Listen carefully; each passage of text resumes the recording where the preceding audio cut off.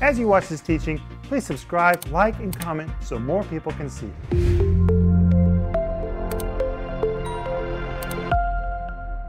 My name is Rick Renner, and today I'm coming to you from the Gatchina Palace just outside of St. Petersburg, Russia. At one time, this palace was the seat for the imperial family in Russia. But during World War II, this palace was decimated. The enemy came and literally pillaged this place, bombed this place, burned it, and left it in a shambles. But the restorers came. And after the war, they went to work. And you can see just a slither of restoration where I'm seated right now. But if you look beyond this slither, you'll see the rest of the room is still quite a mess. But it makes me think of what Jesus said in John 10 10. He said, The thief comes to steal, to kill, and to destroy. That's what the Nazi troops did to this building. They stole its treasures. So much destruction was in this place. They literally tried to destroy it. But Jesus continued to say in John 10 10, I'm come that you might have life and have it more abundant. Just like this little slither has been restored and is beautiful because the restorer's hands were here. When we let the Lord work in our life, it doesn't matter how much destruction we've had, anything we'll let Him touch, He'll bring abundant life to it. He'll bring restoration to it. And that is what I'm going to talk to you about today. Stay tuned for a teaching you can trust, a message that will inspire, strengthen, and equip you with vital insights and understanding from the Word of God. Here is Rick. Hey, my name is Rick Renner, and my friend, I've been waiting for you. I hope you've been waiting for me. Don't change the channel because today we're going to find out that Jesus can restore you from any kind of abuse you ever received in your past. And I'm teaching a brand new series called You Are God's Restoration Project. You ought to say, Amen. That's what I am. I'm God's restoration project.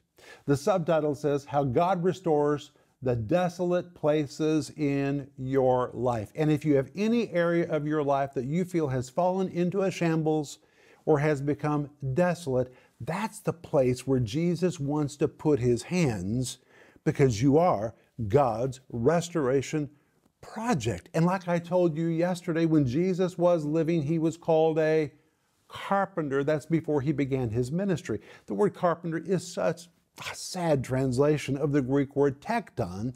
The word tekton is the word that is used in the four Gospels that's normally translated, unfortunately, carpenter. The reason it's unfortunate is because Jesus probably didn't work with wood at all. The word tekton, translated carpenter, describes a person that makes exquisite furniture, a person that makes fabulous jewelry, a person that can paint frescoes on the wall, a person who designs and composes mosaics, and particularly a person who can make shiny things, shiny things. And even more importantly, that word tekton could even describe a person who had the literary skills to write a masterpiece, a masterpiece.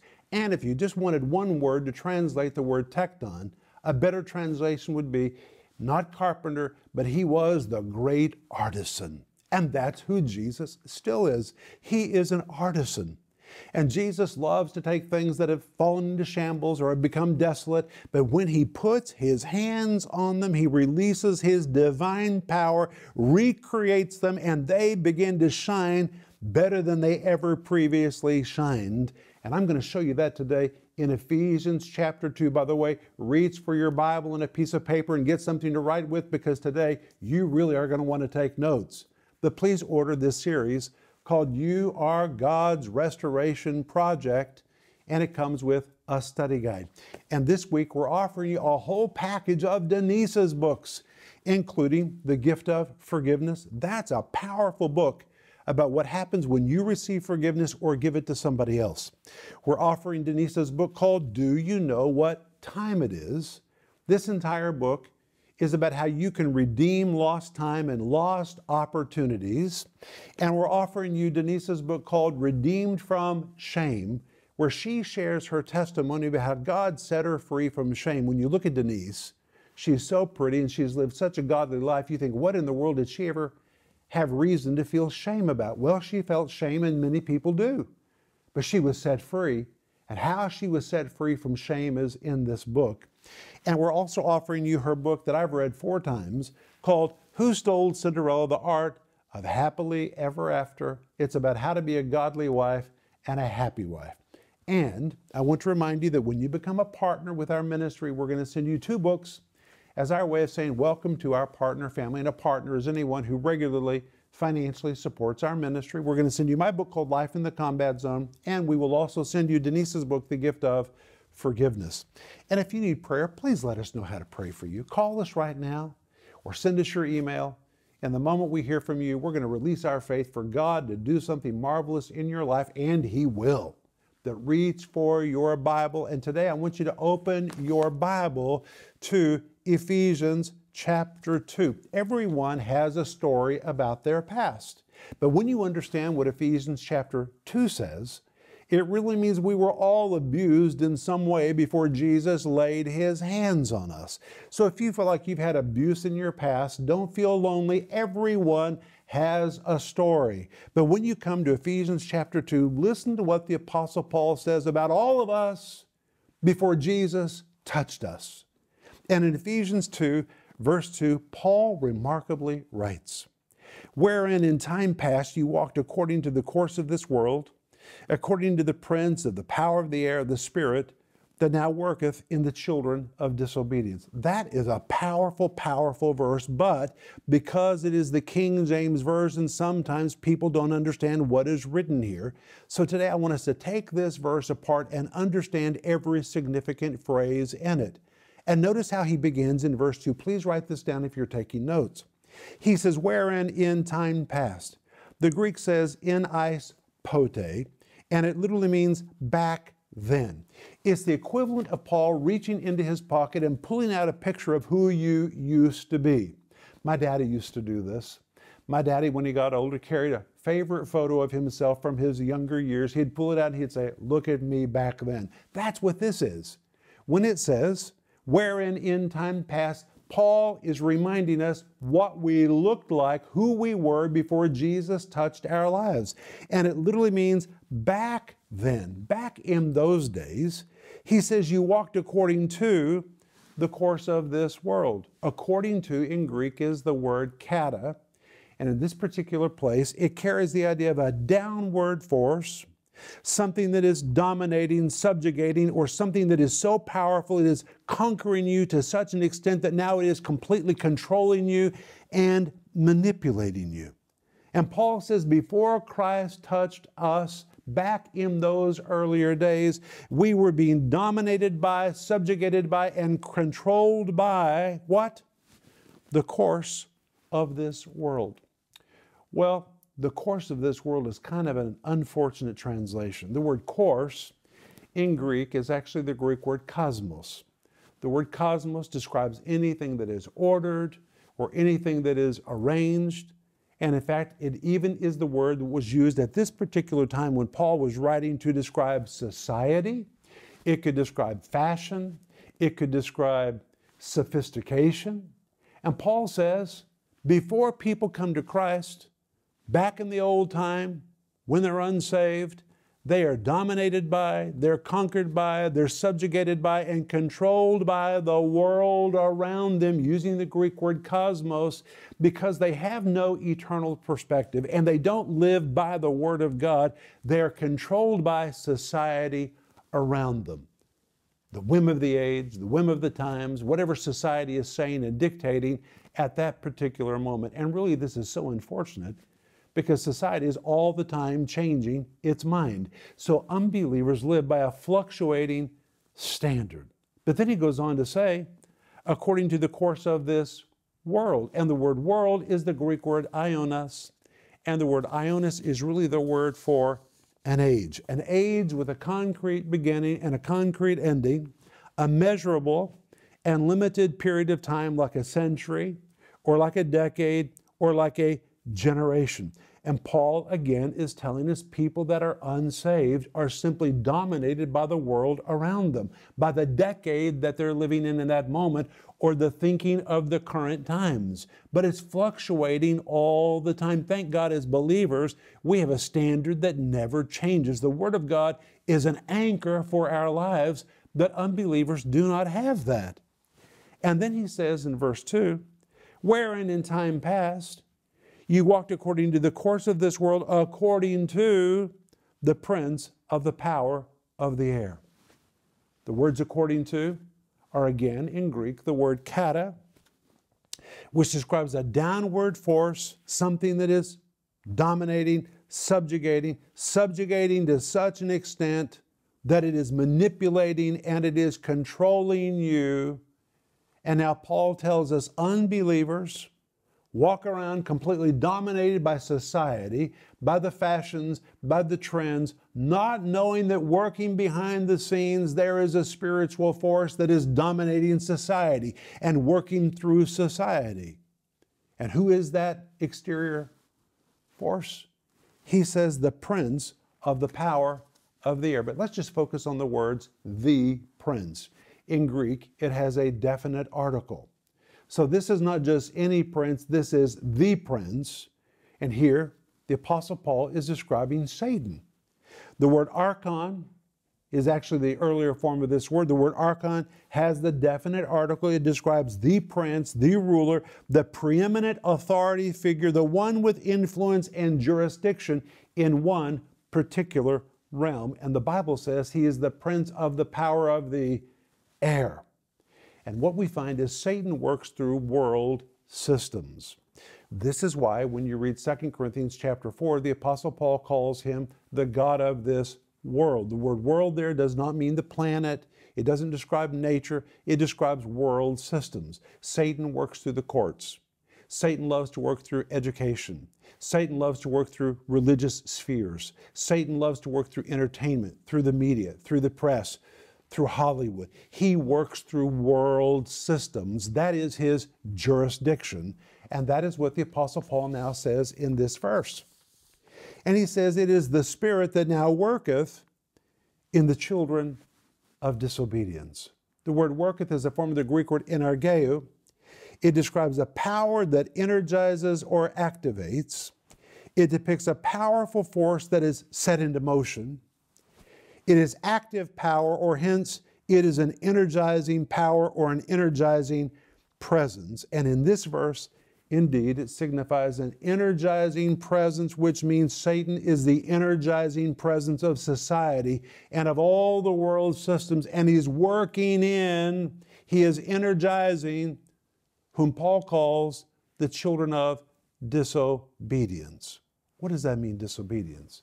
It is the Greek word, apeitheia from the word peitho, which means to be persuadable or to be convincible. But if you put an A on the front of it, it comes to describe one that is uncontrollable, unleadable, belligerent, non compliant, or obstinate, one that you are no longer able to persuade, control, lead, or to exercise authority over. And here we find the devil's ultimate aim is to create a world that runs amuck of authority, casts off authority. It is obstinate, particularly in regard to the Word of God and the commands of God. Children of disobedient. It describes a lost world. And my friends, that's who we all were before we got saved. And that is why in verse 3, Paul says, Among whom also we all had our conversation in times past.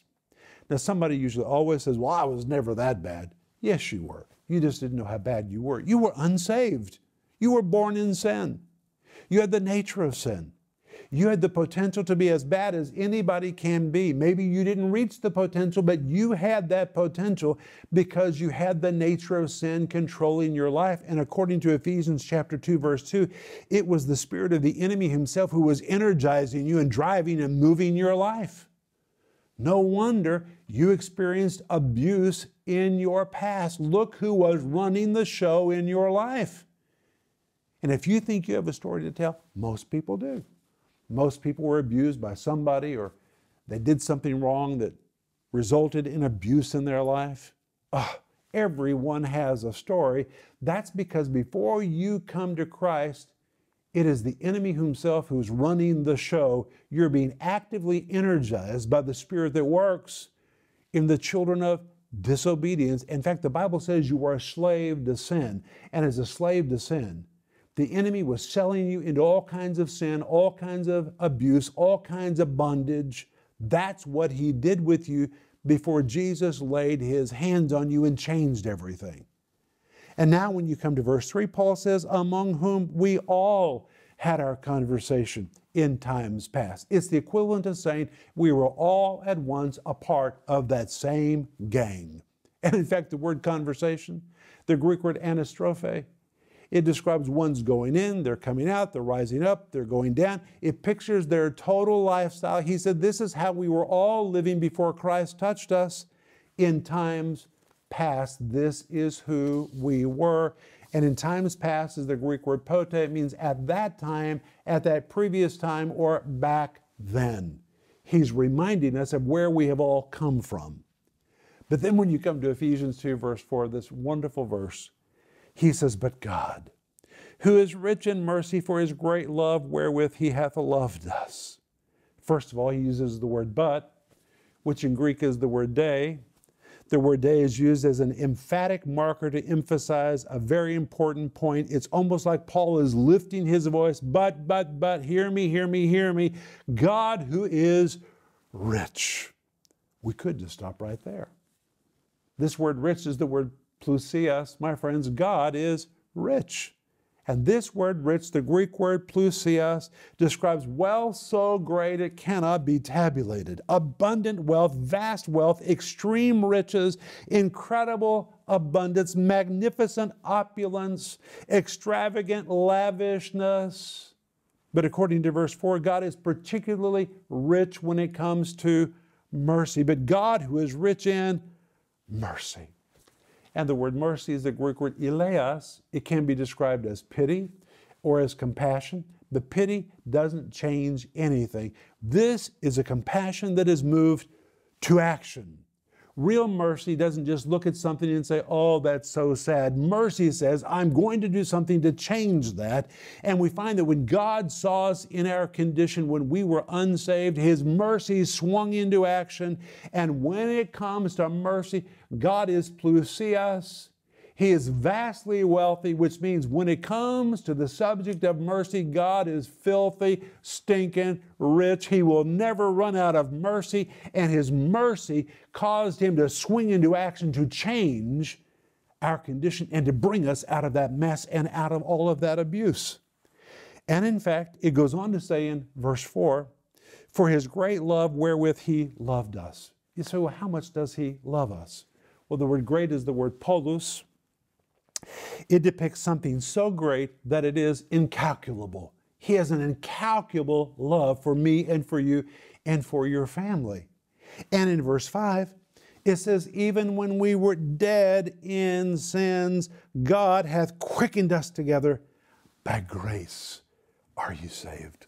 The word dead is the Greek word nekros, which is the very same Greek word for a corpse. A corpse is dead. A corpse has no heartbeat. It has no pulse. It has no breath in its lungs. It has no desires, can't make a decision because it is nekros. It is dead. It is a corpse, which means when you and I were lost in sin and were not even thinking about God, when we were dead in sin, God's mercy swung into action and God seized us and quickened us together with Christ. And that is why Paul adds, in parentheses, by grace are you saved, had nothing to do with us. All we had to do was say yes to the Lordship of Jesus, and God did everything else. That is amazing. But then when you come to Ephesians 2, verse 10, we find what God did with me and what He did with you. Listen to this. For we, we, that's me and you, we are His workmanship created in Christ Jesus. Well, what does the word workmanship mean? The word workmanship in Greek is the word poema. It's a very familiar word. It describes a poem. It's where you get the word for a poem. It could describe a product that has been produced, a thing made. Here it is translated as the word workmanship, but the word poema, which here is translated workmanship, really is the word for a masterpiece. It can be a masterpiece of art, it can be a literary masterpiece. It describes something that one has put all of his genius and all of his creative powers into. It is something that's been artfully created. It describes one who has the ability to write or to create a literary masterpiece. And this word explains what happened to us the day we said yes to the Lordship of Jesus Christ. On that day, God put forth all of his brilliance, all of his most powerful creative efforts to make us new. And when God was finished with his work in our life in salvation, my friends, you and me, we became God's masterpiece, skillfully and artfully created in Christ Jesus. And the word created in this verse is also very important because it is the Greek word katidzo. You say, well, what does katidzo mean? Well, this Greek word katidzo means the creation of something from nothing. The creation of something from nothing. Not renewed, not refashioned, not remade with old materials, but something that is brand spanking new, never existing before. This is not a product that has been enhanced, improved, repaired, or restored. This is something newly created and brand new and original, which means Christ took us from that world of abuse. He took us from that world where we were dominated by sin and the prince of the power of the air and the spirit that is energizing the children of disobedience. He quickened us together in Christ even when we were not looking at Him, and really we couldn't even made the choice because we were nekros, we were dead in sins. We didn't have a spiritual heartbeat, but God saw us and wanted us, chose us and quickened us.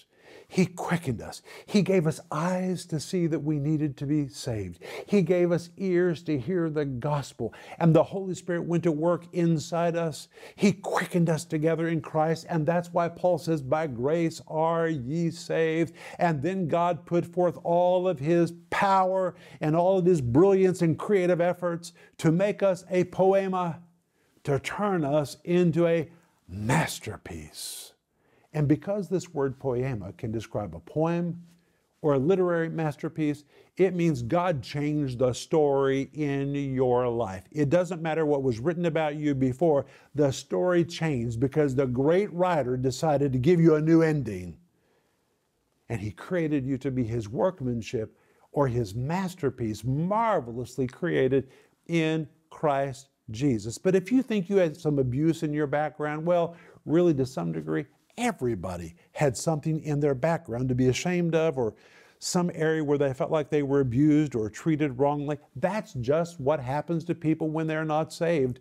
But when Jesus lays his hands on us, he takes that which had fallen into a shambles and was desolate and makes it shiny and brand new. I'll be back in just a moment and I want to pray for you. Most people have been through rough times in life. And rough times can take a toll on relationships, health, finances, and so many other areas. If you feel you've suffered loss along the way in some area of your life, Jesus is in the restoration business, and He really can restore anything the devil or life has tried to ruin or take from you. In this amazing five part series, you'll learn Jesus really can restore what the devil has tried to steal, kill, and destroy in your life. Jesus can restore you from abuse you have experienced. Jesus can even restore years you have lost. Jesus came to bring life back into all the areas where you feel you've been negatively affected and where you feel you've suffered loss. This series is designed to help you get back what the devil has tried to take away from you, and it's available in digital or physical formats, starting at just $10. We're also offering you a special bundle of Denise Renner's books, including You Know What Time It Is, Redeemed from Shame, the Gift of Forgiveness, and Who Stole Cinderella. People all over the world have testified about how God has used these books to liberate and set them free. And we believe they can make a big difference in your life or in the life of someone you love. This power packed four book bundle can be yours for just $34. Don't miss this special offer. The series, You Are God's Restoration Project. And the special bundle of Denise's books. Call the number on your screen now or go to Renner.org to order. Call or go online now.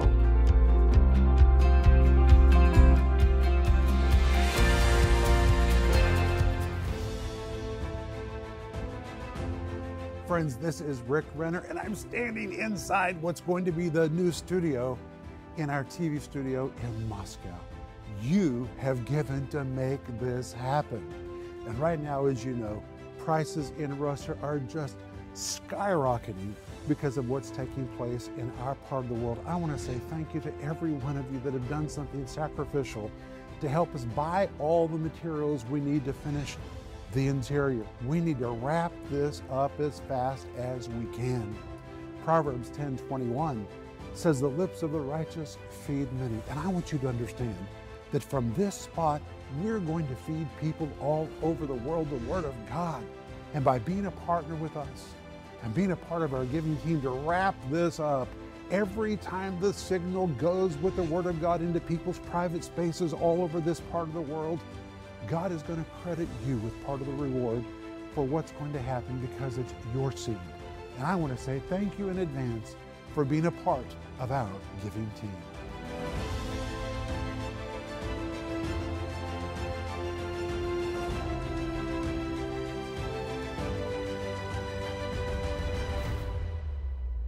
I want to say thank you for letting me come into your space today. And I know that there is no possible way you can remember everything that I shared with you in today's program. But hey, you need to hear what I taught today again and again and again and really get it down deep inside you. Jesus put forth all the power necessary to deliver you from your past, all of that abuse to take you out of a shambles and out of desolate places to make you a masterpiece. That's why I want you to have my brand new series called You Are God's Restoration Project. Jesus wants to lay his hands on you, recreate you, and make you shiny in every area of your life. And that's why the subtitle says, How God Restores the Desolate Places in Your Life. Please go online and order this right now or give us a call. And it comes with a study guide. And right now, we're offering you a bundle of Denise's books. We're offering you her book, Who Stole Cinderella? The Art of Living Happily Ever After. I've read it four times. It is a great book. We're offering her book, The Gift of Forgiveness which is about what happens when you forgive yourself and receive forgiveness and give forgiveness to somebody else. Wow, it is powerful. Denise's book called Redeem from Shame How You Can Be Set Free from Shame and Walk Out of It Forever. And her book called Do You Know What Time It Is? which is about how you can redeem time. If you feel like you've lost time and opportunity, you can buy it back, you can redeem it. And that is what is in this book. Please let us know how to pray for you. Just give us a call or send us your email. But I want to pray for you. Father, in the name of Jesus, I thank you that we're not who we used to be. We've been changed. Lord, at one time we were a part of that gang, but now you've turned us into a masterpiece. Help us to embrace who you have made us to be in Christ. In Jesus' name, amen. Remember Ecclesiastes 8 4 where the word of a king is, there is power. And I'll see you tomorrow.